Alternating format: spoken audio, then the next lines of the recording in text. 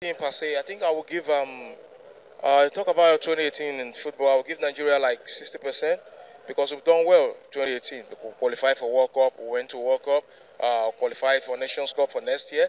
Our girls also qualified for uh, uh, uh, female World Cup for next year. So I mean, all this is a, this is a good achievement, you know. So for me, I think uh, we've done well in terms of football, and uh, there's always room for improvement. So I think we'll, we'll do better.